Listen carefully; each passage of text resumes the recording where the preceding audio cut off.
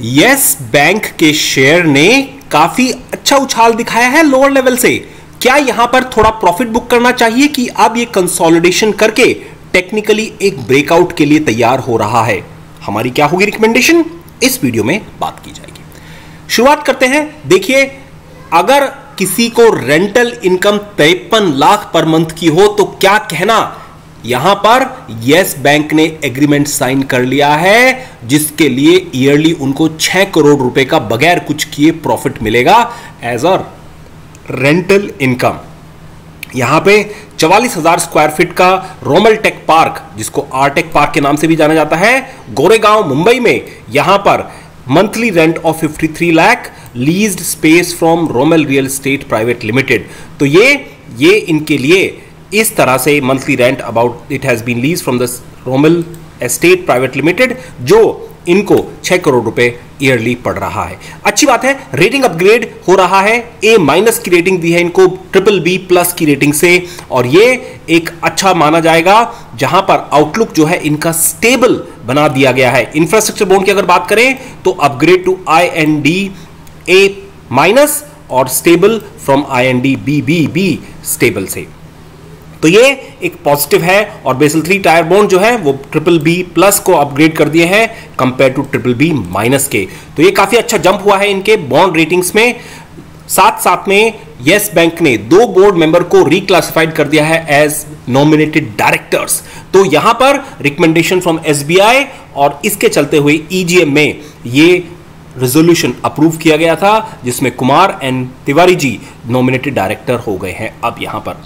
इनकी stake sale भी confirm हो गई है। कार्ले और एडवंट दोनों ने यहाँ पर निवेश करेंगे। 8,900 करोड़ रुपए का अप्रोक्सीमेटली 10 परसेंट का स्टेक मिलेगा इनको और बोर्ड ने इसको अप्रूवल दे दिया है। यह भी पॉजिटिव खबर मानी जाएगी इस स्टॉक में। सेबी की नई गाइडलाइन आई है in terms of bond rating देखिए पहले आपको पता होगा 81 बॉन्ड जो यस बैंक का था उसको नील कर दिया था इन्होंने मार्च 2020 में। और इसके चलते हुए यहाँ पर ह्यूज लॉस रहा काफ़ी इन्वेस्टर्स को। तो in fact Nippon India mutual fund यहाँ पर जो इन्वेस्टेड यहाँ पर उनको भी काफ़ी तकड़ा सेबी स्कैनर रहा था। 2500 करोड़ का इन्वेस्टमेंट का घोटाले की बात चल रही थी। तो ये अब राइट ऑफ़ किया गया था 8000 करोड़ का। इसलिए सेबी ने यहाँ पर बताया है कि आपके सारे बॉन्ड की रेटिंग को हम वेरीफाई करेंगे। इसका इंपैक्ट हमारे हिसाब से जो फेस वैल्यू है, इसकी दो रुपए और बुक वैल्यू जो है, तेरह रुपए के आसपास है। ये तेरह रुपए का बहुत स्ट्रॉन्ग सपोर्ट रहेगा इस स्टॉक के लिए। अगर यूएस मार्केट को देखा जाए तो यूएस मार्केट ने कल जरम पॉवल जी की स्पीच के बाद काफ़ी तकड़ी गिरावट दिखाई है, जिसमें एसजीएक्स निफ्टी भी ऑलमोस्ट डेढ़ प्रतिशत गिर के कारोबार कर रहा है। अगर डाउजोन की बात करें तो कल एक पिछले दो महीने की सबसे बड़ी रेड कैंडल बनी है वॉल्यूम के साथ बढ़ा है, और ये फिर से बत्तीस हज़ार के आसपास पहुँच गया है यहाँ पर। ये एस यहाँ पर अगर हम डाउजोन इंडस्ट्रियल एवरेज की बात करें तो। संदीप सबरवाल जी के कहने के मुताबिक we would recommend our viewers to buy on Yes Bank और इनका रिकमेंडेशन क्या है कि डाउनसाइड रिस्क बहुत कम है अपसाइड रिवॉर्ड काफ़ी ज़्यादा है, अगर आपका दो से तीन साल का हॉराइजन है। प्रशांत कुमार जी की जितनी तारीफ़ की जाए, उतनी कम है। इन्होंने चहुमुखी विकास किया है यस बैंक का, और आगे भी इनके नेतृत्व में ये बैंक आगे नई नई चरम सीमाओं तक पहुंचेगा। यस बैंक, क्यों गिर रहा था, उसके बाद अब ये टेक्निकली ओवरबोर्ड जोन में होने की वजह से वहाँ पर गिर रहा था। आइए जरा चलकर इसका टेक्निकल व्यू देखते हैं। कैश सरप्लस है, इनके पास में फिक्स डिपॉजिट नहीं कर रहे they want to increase their revenue और इसलिए ये बाइंग स्प्री पर जा रहे हैं smaller entity micro finance segment में। इन्होंने बताया है, प्रशांत कुमार जी ने, कि ये बैंक अनाउंस किया है around 1.1 billion equity capital from private equity like Advent and Carlyle arc का अपडेट अड़तालीस हज़ार करोड़ रुपए अब इनका बेस बन चुका है, जो इनके लिए एक अच्छी खबर है। जैसी फ्लावर एसेट रिकंस्ट्रक्शन कंपनी ने इनको यहाँ पर बिड किया है, और ये अगर इससे ऊपर कोई देता है तो ये एसेट उनको ट्रांसफ़र कर दिए जाएँगे हमारे हिसाब से हेल्दी करेक्शन वॉज़ नीडेड और ये हुआ।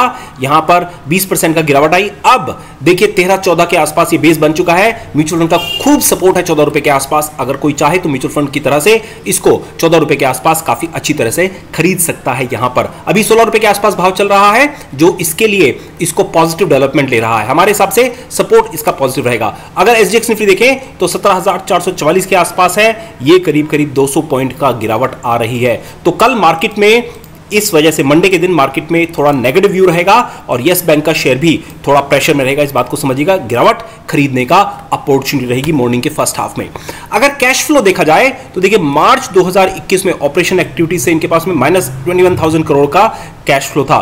फिर चौबीस हज़ार करोड़ नेगेटिव फिर सत्तावन हज़ार करोड़। बट उसके बाद मार्च में 2021 में जब से प्रशांत कुमार जी ने बागदौड़ संभाली है, पचास हज़ार करोड़ का पॉजिटिव कैश फ्लो उसके बाद तेईस हज़ार करोड़ का पॉजिटिव कैश फ्लो अगर नेट कैश फ्लो देखा जाए, मार्च 2018 में पाँच हज़ार करोड़ का था इंक्लूडिंग द इन्वेस्टमेंट अपॉर्चुनिटीज़ और यहाँ पर 2000 करोड़, फिर उसके बाद में 2020 में इनको 18000 करोड़ का नेगेटिव कैश फ्लो था। इसके बाद 20000 करोड़ का पॉजिटिव और अब सत्रह हज़ार करोड़ का पॉजिटिव कैश फ्लो तो अब ये कैश काउ बन चुका है येस बैंक काफ़ी अच्छा रिज़ल्ट रहेगा इसका। अगर आप चाहें तो अपने पोर्टफोलियो में इसको ज़रूर निवेश करके रखिएगा। टेक्निकली अगर देखा जाए तो देखिए यहाँ पर यस बैंक ने गिरावट दिखाई है, सोलह रुपए सत्रह पैसे से सोलह रुपए पचास पैसे के आसपास और कल भी थोड़ा सा प्रेशर रहेगा, हो सकता है सोलह रुपए बीस पैसे या सोलह रुपए तक ये आके सपोर्ट ले। सोलह रुपए काफ़ी स्ट्रॉन्ग सपोर्ट रहेगा इसका। अब अगर यहाँ पर कैंडलस्टिक पैटर्न के बेसिस पर हम मूविंग एवरेज देखें तो twenty day moving average fifty day moving average और टू डे मूविंग एवरेज काफ़ी ऊपर है। इसका मतलब ये एक पॉजिटिव बायस की तरह से ट्रेड करेगा। जितनी भी गिरावट आएगी हमारे हिसाब से, पंद्रह रुपए पचास पैसे का एक मेन सपोर्ट रहेगा, जो उसके लिए एक अच्छा एक्टिविटी रहेगा। अगर आप फ्लैग एंड पोल पैटर्न को समझते हैं तो देखिए, ये एक clear cut flag and pole pattern बन रहा है इस स्टॉक में। यहाँ पर देखेंगे तो ये एक काफ़ी अच्छा ब्रेकआउट के लिए तैयार है हमारे हिसाब से, जिसका आउटपुट ऊपर की तरफ़ को रहेगा और ये फिर से 21 बाईस रुपए तक जाने की कोशिश करेगा। बुलिंग बैंक की डायरेक्शन ऊपर हो गई है और बैंडविथ देखिए यहाँ पर हमने खरीदने के लिए मना किया अपने दर्शकों को और काफ़ी हमारे नए दर्शकों ने समझा नहीं था। हमारे कुछ दर्शकों ने इसको समझा और यहाँ पर प्रॉफिट बुक किया सत्तर रुपए के आसपास और हमने बोला था, फिर से आप पंद्रह और साढ़े पंद्रह के आसपास इसको खरीद सकते हैं। उन्होंने किया और यहाँ पर अब उनको फिर से फ़ायदा हो रहा है। अभी थोड़ा सा मार्केट अगर नीचे की तरफ़ को चलता है तो येस बैंक का भी रुझान नीचे की तरफ़ को रहेगा। सुपर ट्रेंड के बेसिस पर देखा जाए, चौदह रुपए पिछासी पैसे का स्ट्रॉन्ग सपोर्ट है। आर एस आई इकसठ के आसपास है, जो कि एक स्लाइटली पॉजिटिव जोन दिखलाता है। मैगडी ने इंटरेस्टिंगली पिछले तीन दिनों से सेल सिग्नल जनरेट किया हुआ है तो ये देखना होगा interesting MACD further sell signal को स्ट्रेंथन करता है कि यहाँ से बाय जनरेट करता है। एलिगेट इंडिकेटर के बेसिस पर तीनों पैरामीटर के बीच में काफ़ी गैप है और ये पॉजिटिव ट्रेंड दिखा रहा है, जिसकी वजह से यस बैंक का स्टॉक अपने सपोर्ट के नीचे काफ़ी ऊपर रहेगा। प्लीज़ कंसल्ट फाइनेंशियल एडवाइजर छोटे और इफ़ेक्टिव चाहे तो हमारे चैनल को सब्सक्राइब कर सकते हैं। और अगर हमारे साथ ट्रेनिंग करनी है मेल ड्रॉप करेंगे।